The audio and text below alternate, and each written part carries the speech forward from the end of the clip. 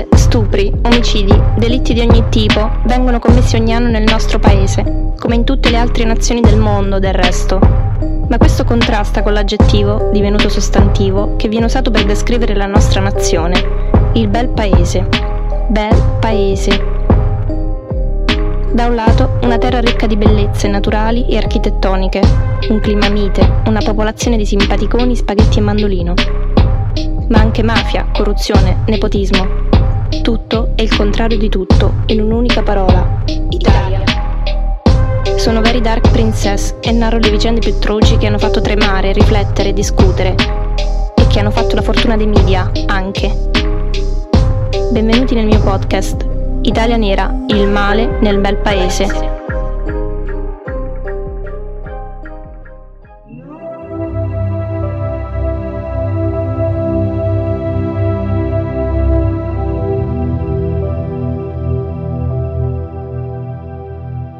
Benvenuti in un nuovo episodio di Italia Nera, il male nel bel paese, il podcast True Crime che indaga sui delitti e sui misteri del nostro paese. Prima di iniziare, vi invito ad iscrivervi al canale YouTube del podcast, di cui trovate il link sotto in descrizione. Se vi va, mettete mi piace e commentate.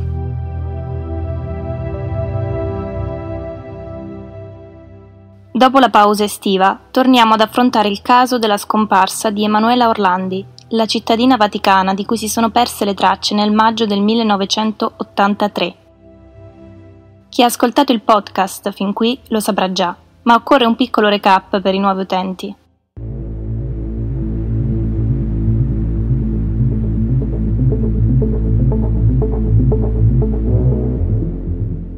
Siamo nel 1983 Emanuela Orlandi ha 15 anni ed è una delle poche persone al mondo ad essere una cittadina vaticana. La sua numerosa famiglia, infatti, vive proprio lì, dentro le mura leonine, perché il padre di Emanuela è un messo pontificio. Emanuela frequenta il liceo scientifico e nel frattempo studia all'Accademia di Musica Tommaso Ludovico da Victoria, situata in piazza Sant'Apollinare, a Roma. Il 22 giugno dell'83, nel pomeriggio, esce di casa per recarsi alla scuola di musica e seguire corsi di flauto e canto corale. All'incirca poco prima delle 19 esce dall'ultima lezione e chiama a casa da una cabina telefonica. A risponderle è sua sorella Federica. A lei, Emanuela dice che prima delle lezioni è stata fermata da un uomo che le ha proposto un lavoro molto remunerativo si tratta di un funzionario della ditta di cosmetici Avon che le ha chiesto di fare del volantinaggio per l'azienda durante una sfilata delle sorelle Fontana. Pagherà circa il corrispettivo di 580 euro per due ore di lavoro, un po' tanto per un lavoro di volantinaggio, pensa Federica, che sconsiglia alla sorella di accettare quella proposta. Chiusa la chiamata, Emanuela rimane ad aspettare all'uscita della scuola due compagne di corso, con le quali raggiunge poi la fermata dell'autobus in corso Rinascimento. Pare che qui abbia confidato loro della proposta ricevuta e che sia stata messa in guardia anche dalle amiche. Intorno alle 19.30 le due ragazze salgono su due autobus differenti, mentre Emanuela rimane da sola ad aspettare. Forse aspetta un autobus successivo nella speranza che sia meno affollato Oppure aspetta proprio qualcuno, magari il funzionario della Avon. Fatto sta che da quel momento nessuno l'ha più vista, Emanuela, o perlomeno nessuno la cui testimonianza sia considerata attendibile. Tante sono le ipotesi che si sono affastellate negli anni riguardo il caso Orlandi, tra chi ha sostenuto la pista del terrorismo internazionale, della banda della Maiana, fino ad arrivare ad ipotizzare il coinvolgimento del Vaticano stesso.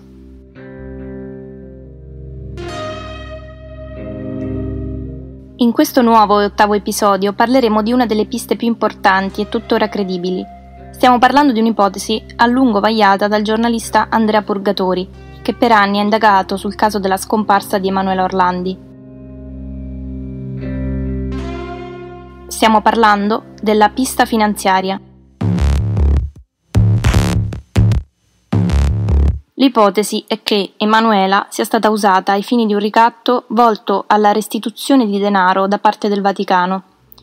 Sono soldi che il Vaticano doveva a un'importante organizzazione criminale, forse proprio alla criminalità organizzata. Ma come e soprattutto perché una ragazza di 15 anni rimane coinvolta in un intrigo finanziario che non la riguarda? Andiamolo a scoprire. Come abbiamo detto negli episodi precedenti, lo IOR, acronimo di Istituto per le opere di religione, era al tempo il fulcro dei movimenti finanziari della Santa Sede. Eppure, esso non è, come invece spesso si pensa, la banca centrale della Santa Sede, perché questa funzione è svolta dall'APSA. Ma negli anni Ottanta lo IOR fa talmente tanto parlare di sé da oscurare l'esistenza della Banca Centrale Vaticana da diventare, nel pensiero comune, la Banca Vaticana. Perché accade questo? Il motivo risiede in alcuni scandali finanziari che si intrecciano da un punto di vista temporale con il caso Orlandi. La storia oscura dello IOR viene da lontano. Tra Chiesa e denaro, d'altronde, c'è sempre stato un rapporto contraddittorio, ma il punto di non ritorno giunge quando a fare da direttore dell'Istituto per le opere di religione viene nominato il controverso monsignore venuto dagli States, Paul Casimir Marcinkus. Torniamo indietro. Siamo negli anni 50. Un giovane sacerdote americano si fa largo tra gli ampi corridoi di Città del Vaticano. È alto e imponente e quel piglio deciso gli farà fare strada. Viene da Cicero, il sobborgo di Chicago che ha dato i natali al boss mafioso Al Capone. Lui, il giovane sacerdote americano, ha origini lituane. Il suo nome è Paul Casimir Marcinkus.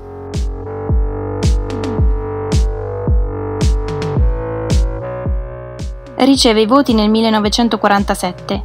Prima si laurea all'Università Gregoriana, poi si trasferisce alla Pontificia Accademia Ecclesiastica, un campus per diplomatici della Santa Sede. Nel 52 il giovane Marcinkus ha appena 30 anni, ma sta già facendo carriera in Vaticano. Le voci sul suo cursus honorum accelerato si rincorrono. C'è chi vocifera riguardo un'amicizia con l'allora segretario di Stato Vaticano, il cardinale Giovanni Benelli, che lo ha preso come collaboratore. C'è chi invece parla di raccomandazioni venute dall'America a nome del cardinale di New York, Francis J. Spellman. Quest'ultimo avrebbe goduto del favore di Pio XII, Papa Pacelli, per via delle sue tesi anticomuniste. Insomma, che sia per Benelli o per Spellman, a Marcinkus in quegli anni si aprono molte porte.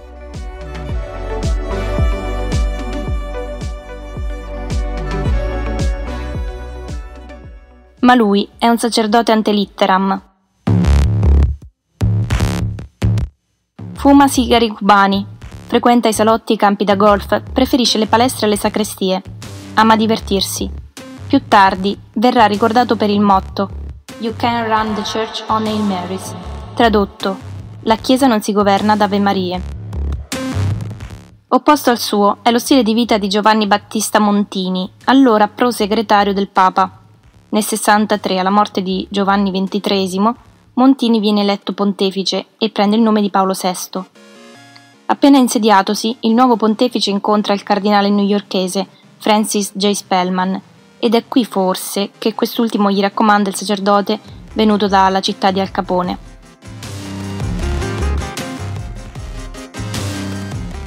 L'anno seguente, tra Paolo VI e Marcinkus scatterà un'alleanza di ferro. Il loro rapporto, infatti, prende il volo quando il pontefice viene salvato dalla calca della folla proprio grazie ad un intervento fulmineo di Marcinkus che lo mette in sicurezza.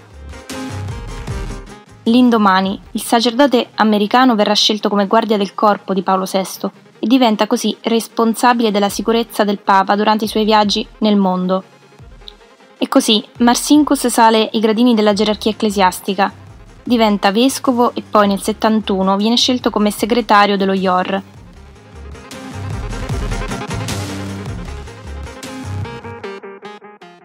Sono anni in cui la Chiesa vessa in difficoltà economiche dovute a un crollo delle offerte dei fedeli. Dopo la morte dell'amato Giovanni XXIII, ricordato come il Papa Buono nella narrazione dei media, le offerte diminuiscono da 19 miliardi a 5 miliardi di lire, ma non solo.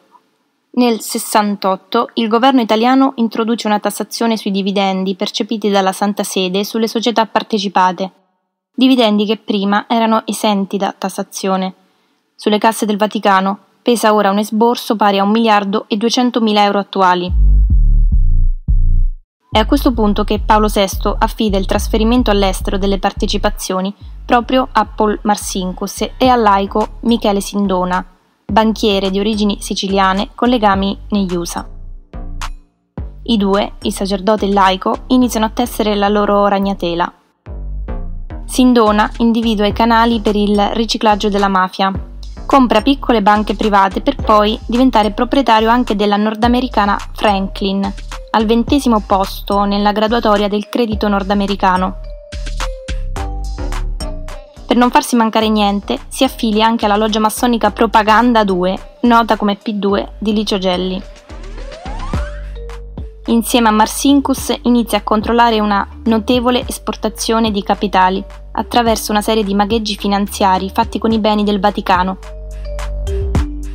Oltre a questo si riscontrano anche cospicui finanziamenti alla democrazia cristiana. Sarà lo stesso Sindona a presentare a Marsinkus il banchiere Roberto Calvi, presidente del Banco Ambrosiano, una delle principali banche cattoliche italiane. Il sodalizio viene stretto nel 71, l'anno in cui Paolo VI nomina Marsinkus presidente dello IOR. Sindona, Marsinkus e Calvi riescono a manipolare gli andamenti della Borsa di Milano con le società del Vaticano che finiscono a Calvi per tramite di Sindona. I debiti e le partecipazioni gonfiate finiscono nel comparto estero dell'Ambrosiano, la banca di Calvi, ma il castello di Sabbia a un certo punto frana. Saltano le protezioni americane a causa del Watergate e si iniziano a sentire i colpi della crisi economica del 73. Il crack Sindona emerge dalla fine dell'estate del 74, quando le sue banche, la Franklin, la banca privata e la Finbank, perdono più di 2 miliardi di dollari Sindona ripara così all'estero per non farsi arrestare. Marsinkus invece assicura che il Vaticano non ha perso un centesimo. In verità, la Chiesa perde dai 50 ai 250 milioni di dollari.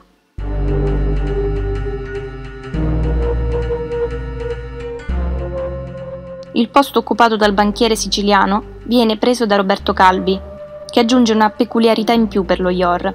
Crea un polo bancario cattolico in grado di competere con i gruppi internazionali e di influenzare le politiche dei paesi dove opera, a iniziare dall'Italia, ovviamente. Il duo Marsinkus Calvi è micidiale, ma Sindona non ci sta e da lontano ricatta Calvi. Nel 78 la Banca d'Italia compie un'ispezione al Banco Ambrosiano e i controlli fanno emergere debiti, crediti senza coperture e alti rischi di liquidità.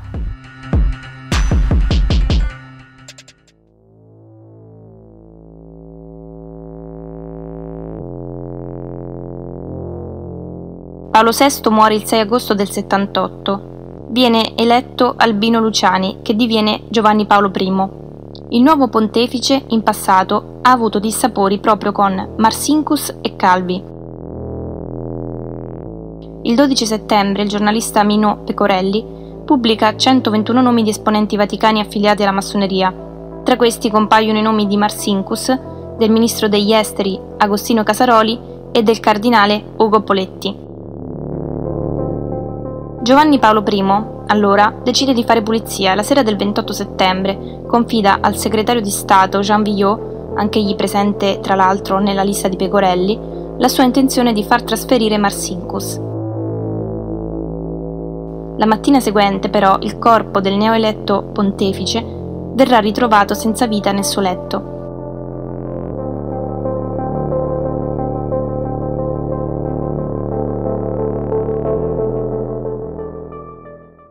Morto un papa, se ne fa un altro. Ed ecco che il 16 ottobre del 1978 ad ascendere al soglio pontificio è il polacco Karol Wojtyla, che diviene Papa Giovanni Paolo II. Un papa giovane, carismatico, venuto dall'est. Piace ai giovani, quelli che frequentano la Chiesa, ovviamente, e piace agli italiani. ma piace in particolar modo a Marcinkus perché entrambi ferreamente opposti al comunismo sovietico. È chiaro che, da qui in poi, Marcinkus continuerà indisturbato la sua politica finanziaria di gestione dello IOR.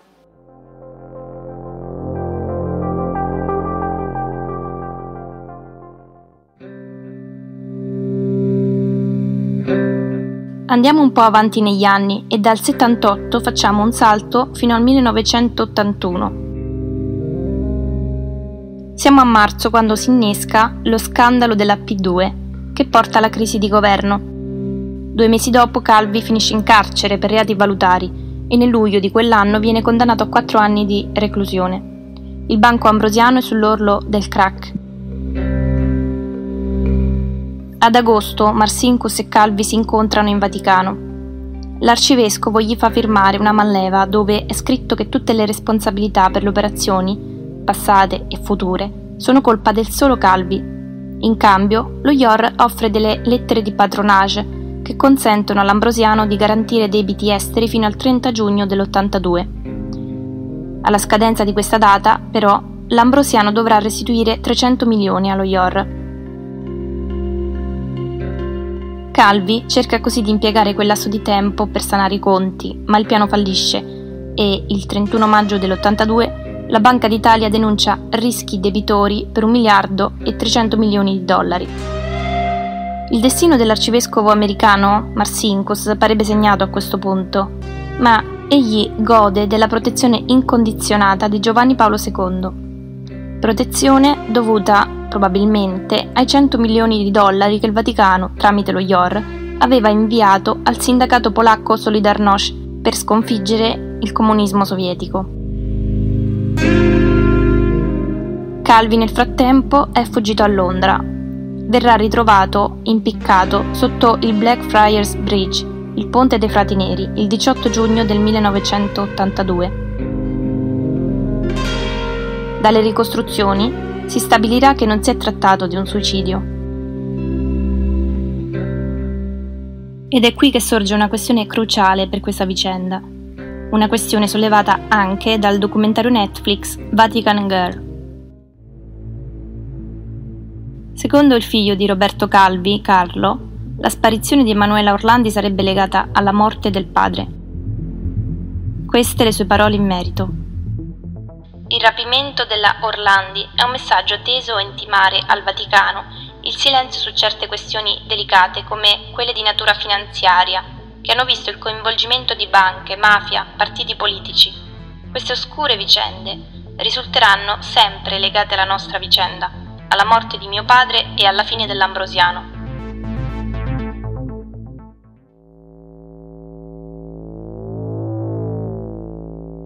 È proprio qui che la pista della banda della Maiana si ricongiunge con quella finanziaria.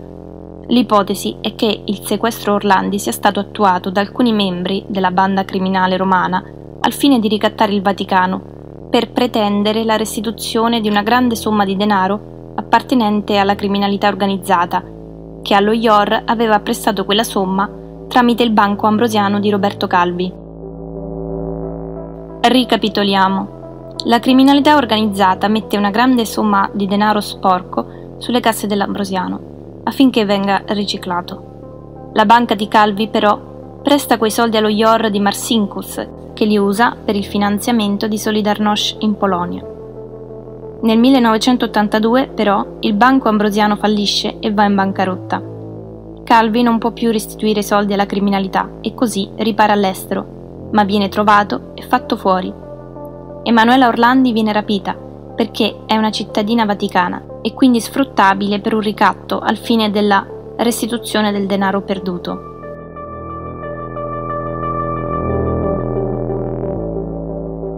L'ipotesi del ricatto finanziario è sostenuta dal giudice Rosario Priore e, come abbiamo appena detto, dal figlio del banchiere Roberto Calvi, ma non solo. Ci sono anche due ex membri della banda della Maiana a sostenere questa tesi. Stiamo parlando di Antonio Mancini e di Maurizio Abbatino, rispettivamente Ricotta e Freddo, di Romanzo Criminale.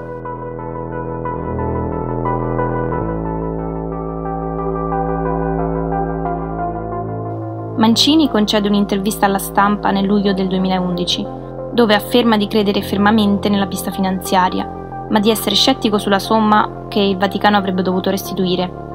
Infatti il giudice priore parla di 20 miliardi di lire, che sono troppo pochi secondo Mancini. Infatti dice, quello che mi lascia perplesso è la cifra di 20 miliardi. Conoscendo la massa di denaro che entrava all'interno della banda, in modo particolare nel gruppo dei testaccini, ritengo che 20 miliardi sia una somma sottostimata.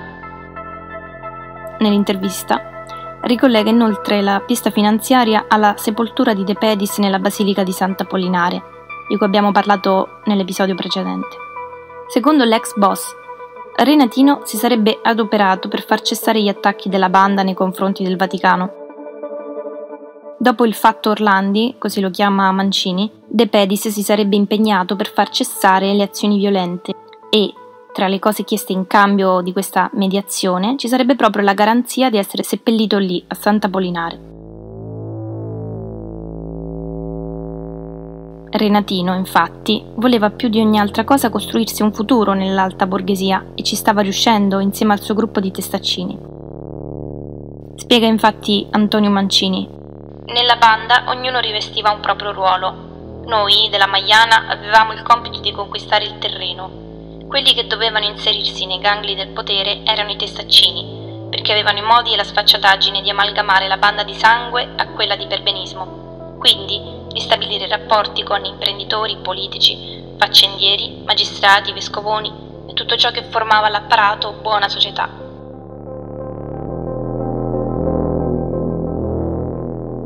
Veniamo ora a Maurizio Abbatino, anche il cosiddetto Freddo, intervistato nel 2018 da Raffaella Fanelli, sostiene l'ipotesi del ricatto finanziario legato al banco ambrosiano. Rivela di esserne venuto a conoscenza da Claudio Sicilia, altro esponente della banda, il quale gli avrebbe detto che dietro al sequestro Orlandi ci sarebbe lo zampino di alcuni testaccini agli ordini di De Pedis, che era il capo di quella parte della banda, come abbiamo detto. Queste le parole di Maurizio Abbatino in merito alla vicenda. De Pedis ha preso Emanuela Orlandi per i soldi che aveva dato a personaggi del Vaticano. Soldi finiti nelle casse dello IOR e mai restituiti. E non c'erano solo i miliardi dei testaccini, ma pure i soldi della mafia. L'omicidio di Michele Sindona e quello di Roberto Calvi sono legati al sequestro Orlandi. Michele Sindona, infatti, che avevamo lasciato un po' da parte, era morto avvelenato il 22 marzo dell'86 nel supercarcere di Voghera.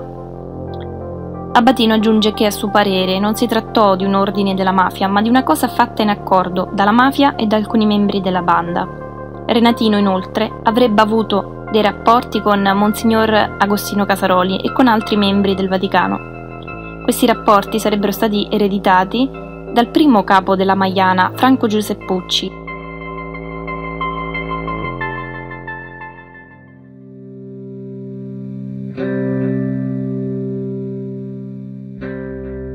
Veniamo ora all'ultima sottoteoria riguardante la pista finanziaria, quella del giornalista Andrea Purgatori, che per anni ha indagato sul caso Orlandi sino al giorno della sua recentissima scomparsa. Secondo il giornalista, la storia della sparizione di Emanuela Orlandi si divide in due tempi.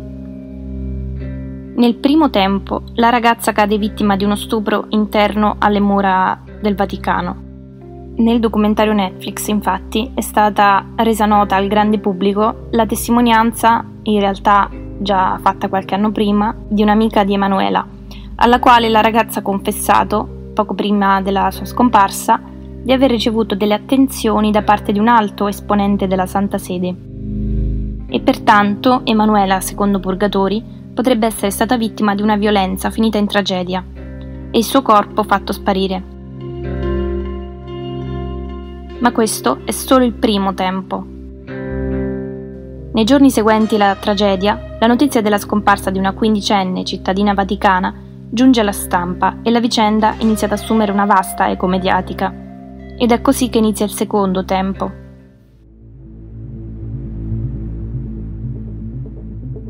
Un'organizzazione criminale di alto livello utilizza il caso per trarne vantaggio L'organizzazione ha perso un'ingente somma di denaro col crack del banco ambrosiano e lo rivuole indietro. Emanuela è una cittadina vaticana ed è proprio il Vaticano ad utilizzare quella somma presa dall'Ambrosiano. Allora, l'organizzazione sfrutta il caso di Emanuela per ricattare il Vaticano e riavere indietro quella somma. Un sequestro inesistente, insomma, perché senza la vita. Un'ipotesi, questa, che spiegherebbe il ricatto anomalo attuato dall'americano e dai membri della sua organizzazione. Come abbiamo detto in un episodio precedente, l'ipotesi del sequestro di persona verrà scartata dagli inquirenti, dato che non è mai stata fornita una prova in vita della ragazza e ciò non rientra nella prassi dei sequestri. Pertanto, l'organizzazione criminale che si cela dietro la vicenda non è realmente in possesso di Emanuela, ma sa qualcosa di lei e si procura delle informazioni su di lei, così da poter ottenere queste sue conoscenze per ricattare la Santa Sede.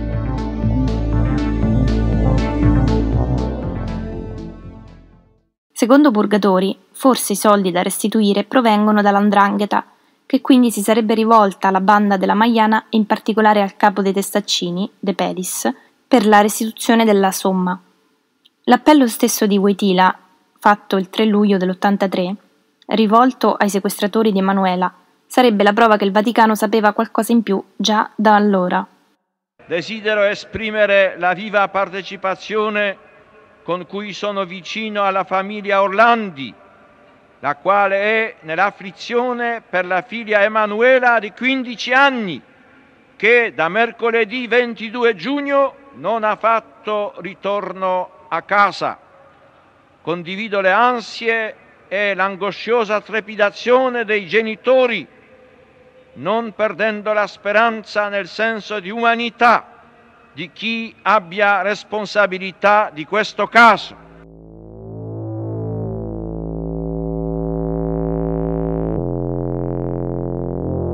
Inoltre, Purgatori rivela una confessione fattagli da una signora inglese che all'epoca dei fatti lavorava alla sala stampa vaticana.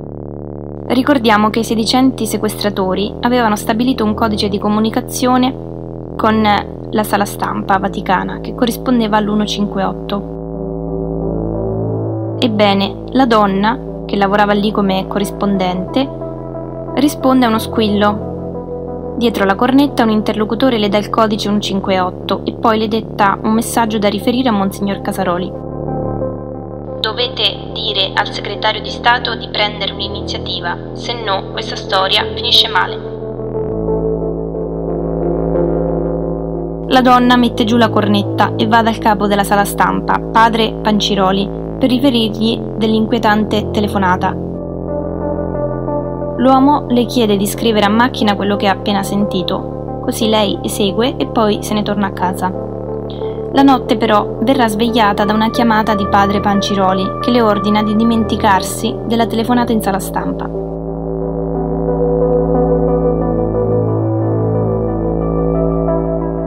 È insomma questa l'atmosfera che si registrava al tempo in Vaticano all'epoca della scomparsa di Emanuela Orlandi. E sono queste le principali ipotesi riguardanti la pista finanziaria. A 40 anni dalla scomparsa di Emanuela, l'ipotesi che la vicenda sia legata allo scandalo dello IOR e dell'Ambrosiano resta, a mio avviso, una delle più credibili.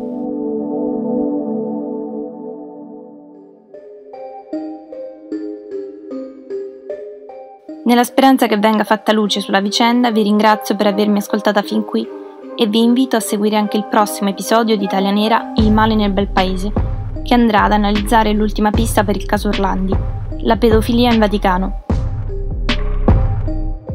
Alla prossima! Un saluto da Very Dark Princess.